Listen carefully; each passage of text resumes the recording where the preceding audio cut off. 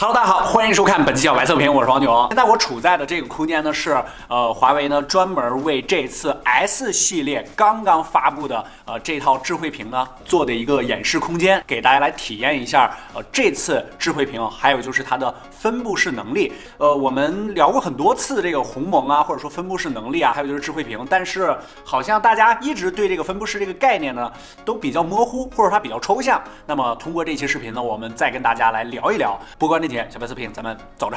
我现在处在这个空间呢，是它的一个 IOT 的一个展示区。这台电视就是刚刚发布的这个 S 六五，这个摄像头是它的一大特点，它是可以摘下来的啊，它是一个。分体式的啊，比如说它可以呃换成素质更高的一个摄像头，或者说再加上什么功能？你看它下面有触点，然后这次好像是还分为带摄像头还有不带摄像头的这个版本。你后面一放，然后就把它给吸上去了，你可以手动的进行旋转。然后整个这个电视的这个造型方面呢，其实还是比较简约的。在 ID 设计方面啊，因为它毕竟是这个 S 系列的，所以说它这个边框呢采用的是这个塑料的材质。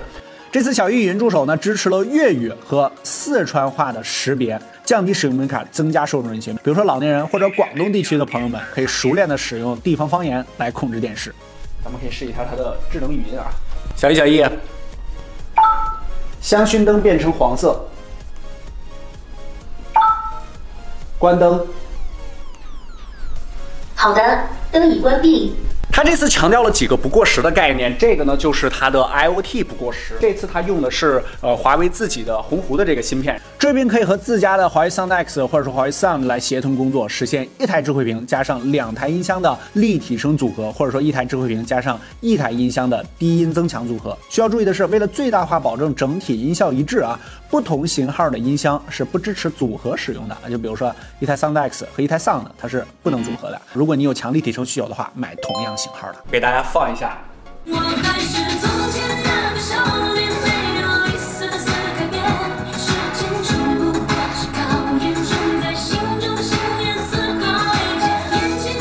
关于电视这个具体参数呢，我们也直接给大家打出来，就不给大家念了。我们下一个场景再去看一看，它会有什么好玩的东西。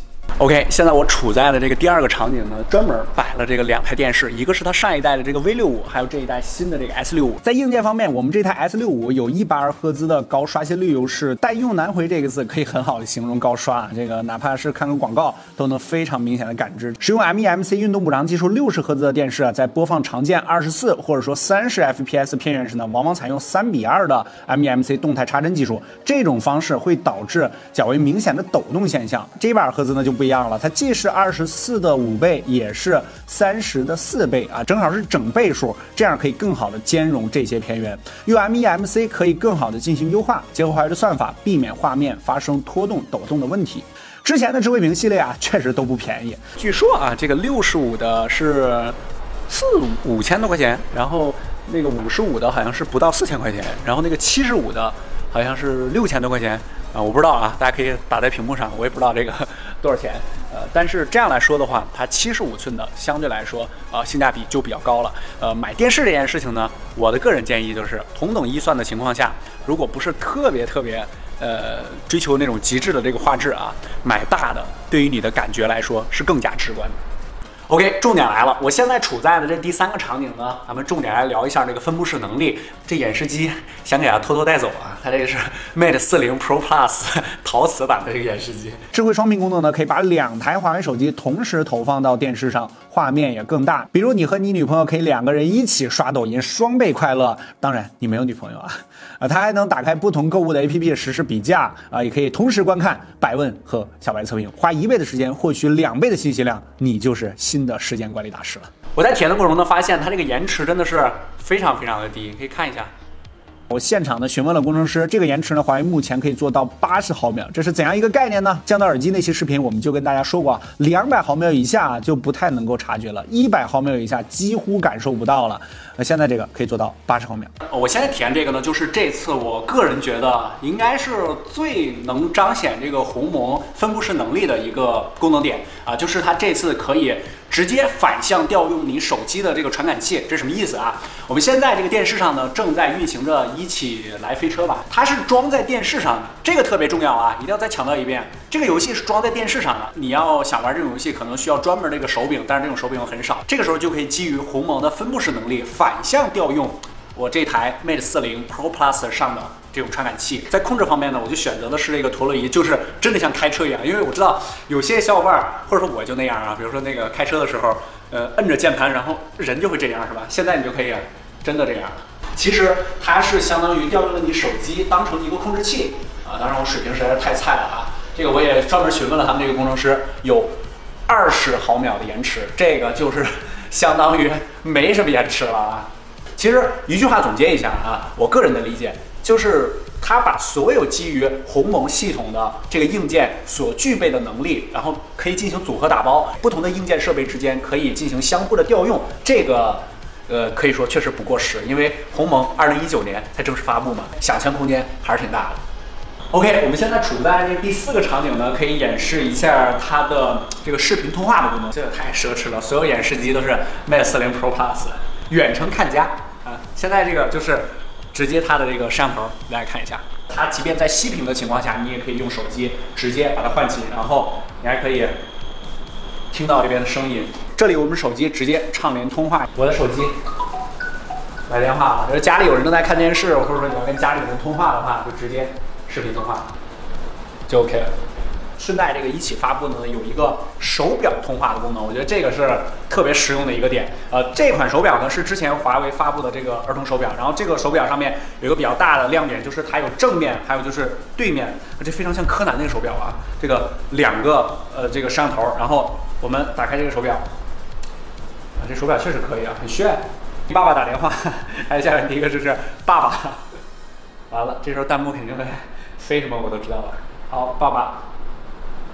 畅联通话。由于现在我们离得太近啊，有一点点这个串音，给一个特写。首先，这个畅联通话呢，肯定是有个弹窗的，这个你可以选择接听或者不接听。还有就是，你可以在设置里面彻底关掉畅联通话这个功能，它就再也接不进来了。如果你要是再极端一点，是吧？直接。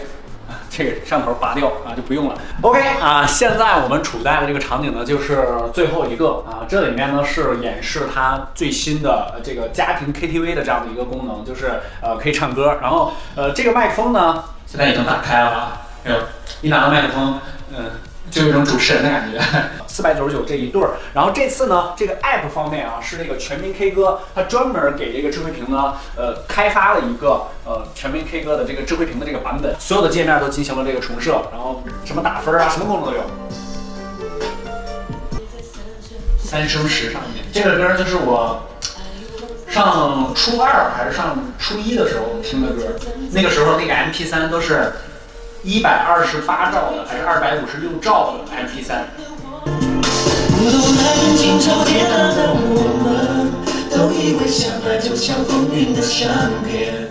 OK，最后的最后呢，我们再来说画质。呃，因为整个的 S 系列这个电视呢，它比较偏性价比，所以说在极限的这个画质上呢，确实没有 V 系列那么顶，因为它毕竟是 LCD 的嘛。呃，它呢是基于呃鸿蒙的这个底层，然后还有呃华为整个生态链的这个软硬件的整个这个加持呢，呃做的功能性比较强。比如说它也有这个 MEMC，而且它整个的这个价格在华为整个这个智慧屏里边也。性价比颇高，面对年轻人的这样的一个系列，我们放一下这个 4K 的片源，这个效果还是非常不错的。呃，鸿蒙2.0呢，呃，目前呢，它在手机端呢，可能距离咱们还比较远。这个虽然说它一直在发这个 beta 版本，但是呃，在智能家居，在 LT 这块儿已经有非常多的落地了。可能你现在还是觉得那么晦涩，没有那么狂拽酷炫屌炸天。但是任何一套新的这个生态，新的这个协议，它必须要有一个发展的过程。另外呢，我最后再提醒大家几个点啊，呃。这个电视它是一个单一背光源的电视，这个应该没有几个人告诉你吧？这个三连点赞一下啊！呃，还是要提醒，如果你特别注重画质，那么 V 系列或者说是 OLED 这个屏幕的电视会更加的适合你。呃，但是一百二赫兹确实，嗯，对于智慧屏来说价格不贵了。OK，本期视频我们就先跟大家聊到这儿，后续呢还有很多品牌的各种各样新品啊，我们会持续为大家带来的，赶紧点一下关注。不过这年，海博测评，我们下期视频再见，拜拜。